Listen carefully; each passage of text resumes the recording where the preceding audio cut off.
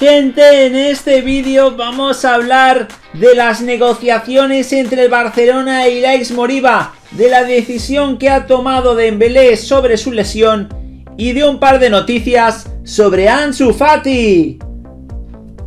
¡Vamos a ello!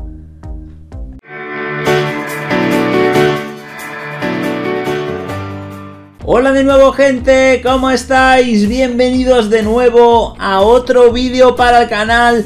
Vamos a analizar la última hora del Fútbol Club Barcelona y vamos a hacerlo con varias noticias. Por tanto, te animamos a que te quedes hasta el final del vídeo, a que nos dejes un buen like y a que le deis a la campanita de notificaciones.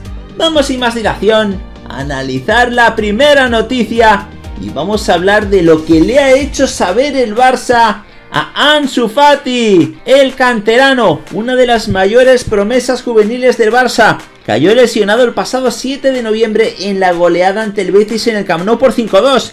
Desde ese momento le ha tocado vivir una auténtica pesadilla, al punto de que la recuperación por su dolencia en el menisco interno de la rodilla izquierda se ha visto trastocada en varias oportunidades. Ante esa situación, tuvo que volver a operarse. Sin embargo, en la entidad culé confían en que estará de vuelta en plenitud de condiciones y es uno de los activos más importantes del proyecto que comienza a construirse en la ciudad condal. En este sentido, se da por hecho que el futbolista de 18 años cumplirá su contrato en vigor, al cual le restan dos años. Incluso algunos medios aseguran que no existe presión de parte del jugador para la ampliación del mismo, recordando que su cláusula de rescisión ascendió de 170 a 400 millones el 23 de septiembre de 2020, cuando firmó su contrato profesional.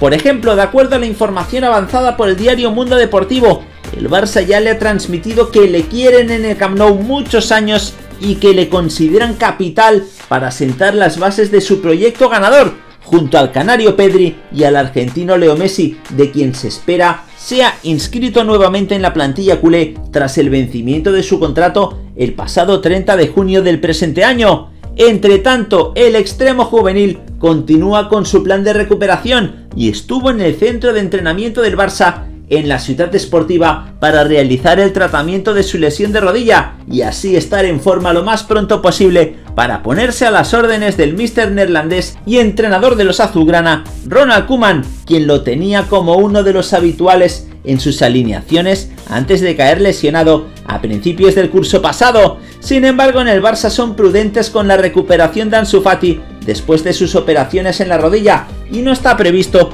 que el extremo pueda estar disponible para el inicio de la temporada 21-22 en el estreno de la Liga Santander contra la Real Sociedad, un caso parecido al que llevan también con cuidado al del portero alemán Marc-André Ter Stegen, quien fue operado a finales del curso pasado. Por tanto, chicos, buena noticia la que ha recibido Ansu Fati por parte del Barcelona. Quieren renovarlo y es que Ansu Fati ha tenido apoyo total y ha estado arropado por todos durante su lesión. La solidaridad con el futbolista, quien en principio solo debía pasar lesionado cuatro meses, pero se terminó extendiendo a 8 y la cuenta sigue, ha sido total por parte de sus compañeros, cuerpo técnico del Barça e incluso factores externos como Cristiano Ronaldo, quien mandó en su oportunidad un mensaje público y de ánimo al juvenil de 18 años de edad, quien también acompañó a la selección de España en Sevilla durante su andar en la pasada Eurocopa 2020. En esta línea también fue arropado por el exentrenador del Barça y actual de la absoluta española, Luis Enrique, quien tiene confianza en que Ansu Fati se recuperará, firmará una buena temporada y los acompañará para encarar el Mundial de Qatar 2022. De hecho, esta semana el extremo juvenil continuó con su plan de recuperación y estuvo en el centro de entrenamiento del Barça, en la ciudad deportiva, para realizar el tratamiento de su lesión de rodilla y así estar en forma lo más pronto posible para ponerse a las órdenes del mister neerlandés y vigente entrenador de los azulgrana, Ronald Koeman, Fuentes ligadas al club azulgrana afirman que Ansu estuvo el lunes en la charla motivadora que el presidente del Barça, John Laporta, dio a los jugadores que empezaron la pretemporada y después viajó a Madrid para ponerse en manos de dos fisioterapeutas de máxima confianza y de gran reputación en su ámbito, Joaquín Juan y Raúl Martínez, quienes trabajan en conjunto con los médicos del Barça para ponerlo a tope lo más pronto posible. Por tanto, chicos, indudablemente Ansu Fati ha tenido mucho apoyo durante estos meses tan delicados para él. Vamos ahora hablar de Ilais Moriba y es que están las negociaciones en un momento delicado. Ilais Moriba tiene contrato, recordemos, con el Barça hasta 2022.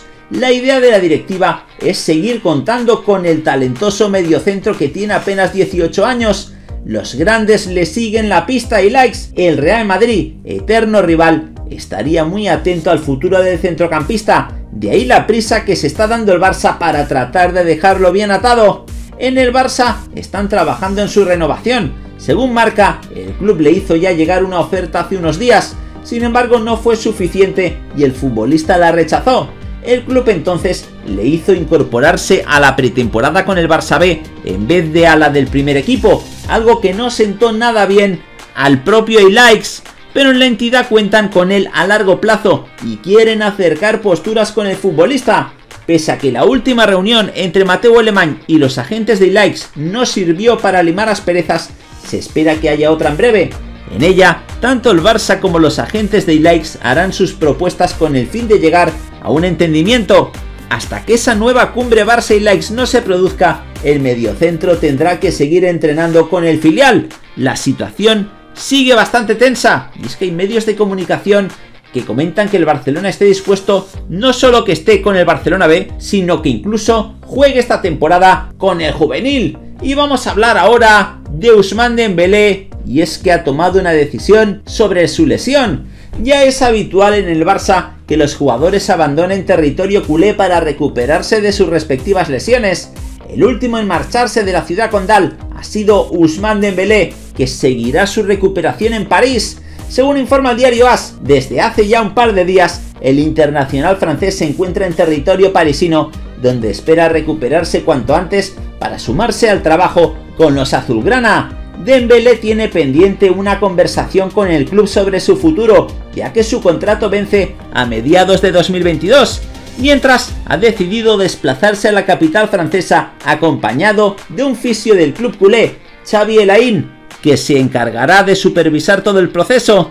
El primer mes de trabajo lo hará completo en París, tal y como añade el citado medio. La idea es que no regrese a Barcelona hasta que pueda hacer trabajo de campo, es decir, podría reaparecer por la ciudad deportiva culé en el mes de septiembre. El jugador de 24 años fue intervenido de una rotura en el bíceps femoral de la pierna derecha el pasado 29 de junio, tras lesionarse en la Eurocopa. Según los plazos de recuperación, el tiempo pronosticado es de 4 meses de baja, por lo que no volvería a vestirse de corto hasta principios de noviembre. Por tanto, chicos, esto es lo que ha decidido Dembélé sobre su lesión. Y vamos a hablar ahora de un compatriota de Dembélé, de Samuel Umtiti. El Barcelona mantiene, como ya sabemos, varios objetivos interesantes para mejorar su plantilla, pero antes de poder acometer más llegadas y entre otras cosas, la renovación de Leo Messi, se espera que el cuadro culé pueda concretar salidas con varios jugadores siempre identificados como candidatos a cambio de aires. Uno de ellos es un tití central de 27 años que apenas jugaba 16 partidos la temporada pasada. Tiene contrato hasta 2023, pero desde su renovación en 2018, tras el Mundial de Rusia, ha ido perdiendo protagonismo de manera irremediable a causa de las lesiones y es la sombra del central que fue. Ahora nos cuenta el diario Sport que el Olympique de Lyon, equipo del que saliera en 2016 rumbo a la entidad culé, estudia la manera de ficharlo ante su alta ficha de la que los azulgranas se quieren librar, ofrecerán una cesión con el pago de la mitad del salario. Habrá que ver si convence la fórmula en Can dado que un traspaso dejando buen dinero en las arcas parece realmente complicado y no entra en los planes de Ronald Koeman, mucho menos ahora que Eric García ha llegado libre. Por tanto, chicos, vamos a ver si Samuel Umtiti acepta irse en el Barcelona, lo va a tener más que complicado son con él 6 centrales en plantilla. Nos gustaría de todas maneras saber vuestra opinión al respecto sobre cualquiera de estas noticias y que por favor nos la dejéis en los comentarios justo debajo de este vídeo. Nada más por el momento, como siempre animaros a que os suscribáis al canal para seguir viendo todos nuestros vídeos. Y aquí os dejamos este vídeo más que interesante para que sigáis disfrutando de todas las noticias del fútbol. ¡Hasta la próxima!